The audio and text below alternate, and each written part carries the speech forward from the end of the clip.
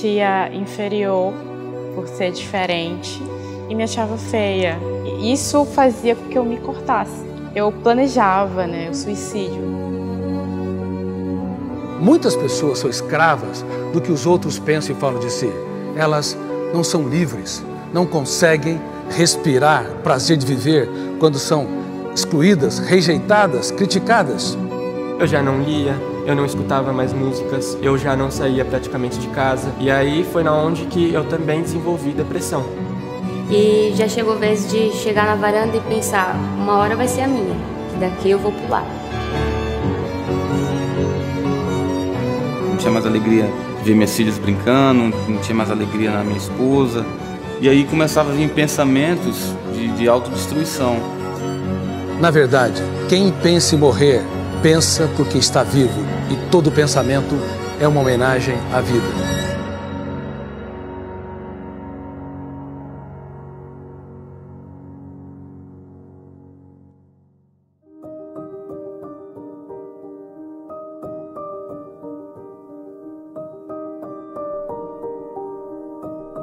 Eu estou aqui porque estou preocupado com você.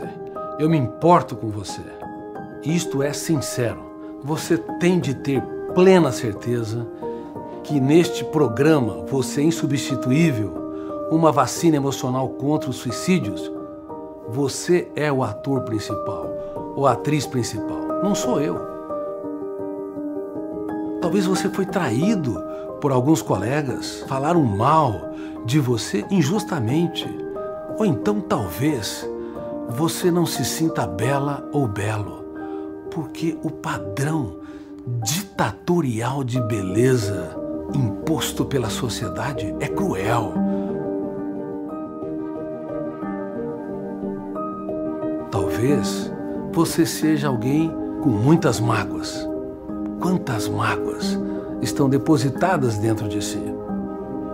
Talvez você olhe para a sua história e desenvolve uma falsa crença. Eu não fiz nada de importante. Eu sou alguém insignificante.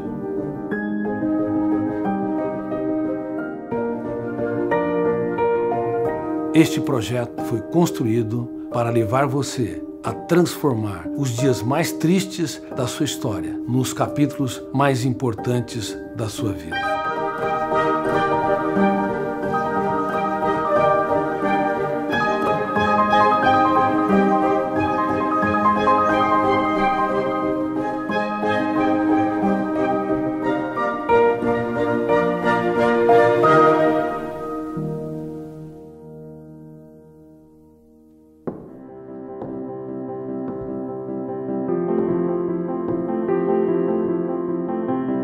Seis filhos, papai e mamãe, morávamos num quarto, um pequeno quarto. Mas a pobreza, nem de longe, foi um grande problema. Pelo contrário, me estimulou a socializar, a me reinventar. Mas quando fui para a escola, os problemas começaram. Havia um garoto que todos os dias quase batia na minha cabeça e eu ia chorando para casa. A escola, que deveria ser um oásis para que eu pudesse aprender, se tornou um canteiro de estresse. A humilhação, a rejeição, hoje nós chamamos isso de bullying. Naquela época, não tinha esse nome, mas a dor era tão cálida e penetrante como hoje. No ensino médio, eu era a segunda nota da classe, de baixo para cima. Vivia desconcentrado, pensando em muitas coisas em outro planeta. Meus colegas diziam que eu só tinha um caderno e nada escrito. E eu me arrisquei a dizer: eu quero ser um médico e um cientista. Silêncio geral. Depois vieram os deboches. E eu comecei a estudar 12 horas por dia, porque eu queria transformar o deboche em crescimento, lágrimas em sabedoria, crises em ganho. E entrei na faculdade de medicina. Mas quando estava no segundo ano, para o terceiro ano, mais uma crise importantíssima. Eu desenvolvi um quadro depressivo. Perdi o prazer de viver, eu era hipersensível, pequenos problemas tinham um impacto muito grande Eu não conseguia gerenciar os meus pensamentos perturbadores. Eu não conseguia me encantar com a vida. O que você faz quando dentro de você você experimenta um terremoto emocional? Desiste de viver? Se entrega? O ideal é nós procurarmos um profissional de saúde mental, como psiquiatra e um psicólogo. Mas naquela época, procurar um profissional era um vexame, uma vergonha. E infelizmente eu não procurei. Mas eu procurei algo que me ajudou muito. O mais importante endereço, o endereço que poucos encontram ao longo do traçado da sua história, um endereço dentro de mim mesmo. Eu comecei a me perguntar: quem sou? O que sou? Por que não consigo controlar meus pensamentos perturbadores? Por que sofro por antecipação? Por que minha emoção é terra de ninguém? Uma rejeição, uma crítica, uma exclusão invade-me e me infecta. E eu escrevia todas as perguntas e procurava as respostas. E ali, a minha dor se tornou a minha mestra. Há um tesouro dentro de você que você não imagina. Há ferramentas incríveis que você pode usar para escrever os capítulos mais notáveis da sua história, mesmo quando o mundo desaba sobre você. Alguns editores me consideram o médico psiquiatra mais lido na atualidade em todo o mundo. Mas o que muitos não sabem, que eu sou um dos seres humanos que mais chorou. Não são os aplausos que eu recebo que sustentam a minha história, são as lágrimas que eu chorei, as rejeições que eu tive, são as perdas que eu sofri. Não tenha medo quando você estiver no deserto. Não tenha medo quando as pessoas te vaiarem, te excluírem e te criticarem. Não tenha medo do caminho, tenha medo sim de não caminhar.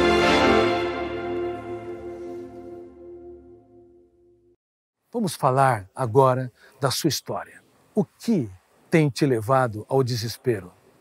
O que tem te levado a crises emocionais? Quais são as causas que têm conduzido você a asfixiar seu prazer de viver, seu encanto pela vida e, por vezes, ter ideias de tirar a sua própria existência? Lembre-se, você quer sempre viver, você tem fome sede de se reinventar. Talvez não saiba.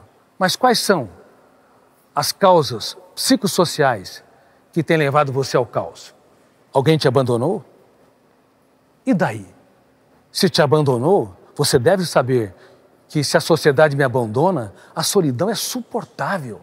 Mas se eu mesmo me abandono, ela é intolerável. Alguém te criticou, te excluiu? E daí? Tua paz vale ouro. O resto é insignificante.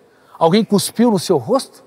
Use a saliva para enriquecer a sua história e não para você detestar a vida e fomentar atos de vingança. Porque o ódio, a vingança, a raiva faz mal em destaque ao próprio hospedeiro. O que tem te conduzido você a achar que não vale a pena viver a vida?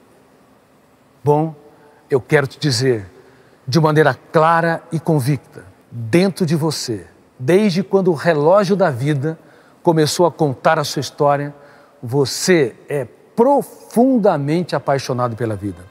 Talvez você não saiba, mas você tem uma biografia genética e existencial incrível, borbulhante, encantadora e tem ferramentas dentro de você que, se aprender a usá-la, você nunca mais será o mesmo.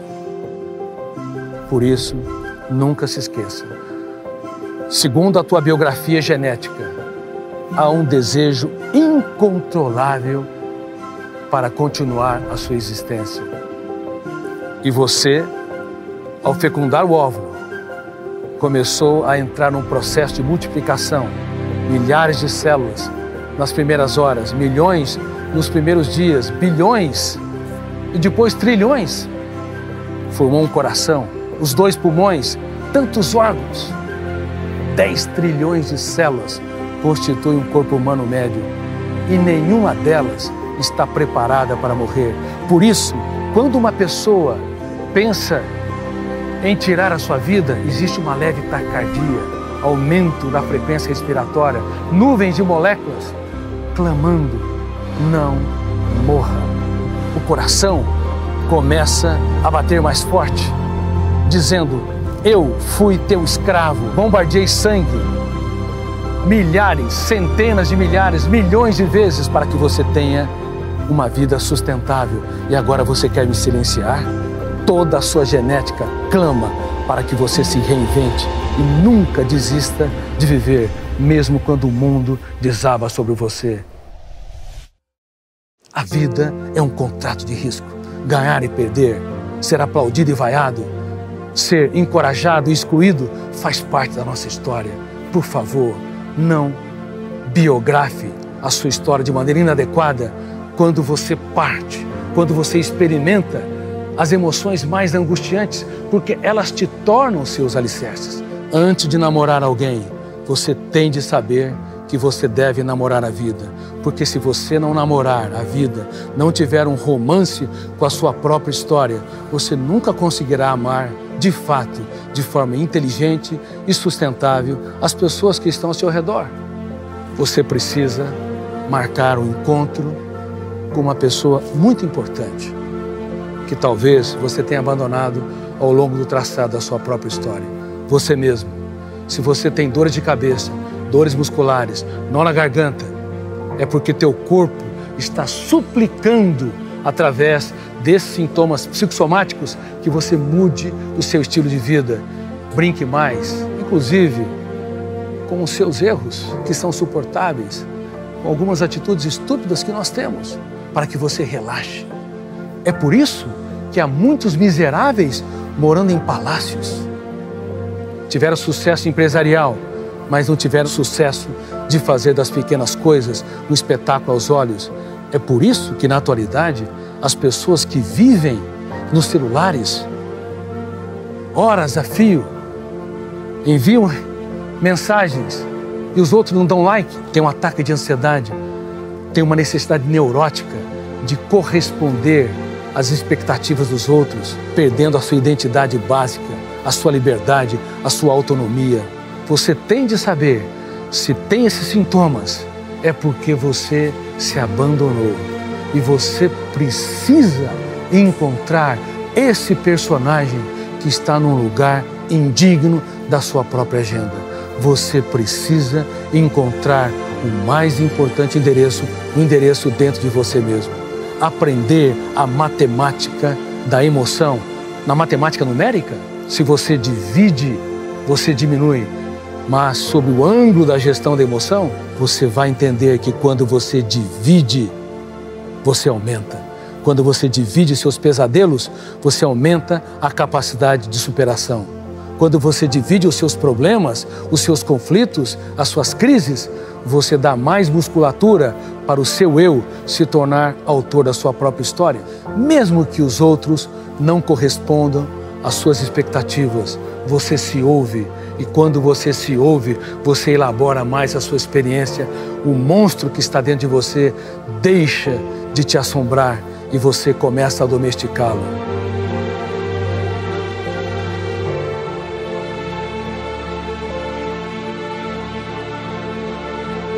Hoje, divida com as pessoas e aprenda a dividir consigo. Converse com seus fantasmas mentais. Pergunte por que a minha vida perdeu sentido? Por que eu quero deixar de respirar, fechar os meus olhos para a vida? Pergunta por que a minha dor está me asfixiando? Por que os meus pensamentos perturbadores estão tirando a minha motivação para viver. Se você pensa em desistir da vida, por que você não usa o seu eu para deixar de ser vítima, para ser autor da sua própria história?